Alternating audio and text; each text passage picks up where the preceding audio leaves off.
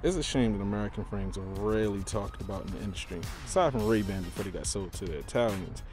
But American Optical was going crazy back in the day. The 20 karat gold plate on these is insane. Just look at that shine.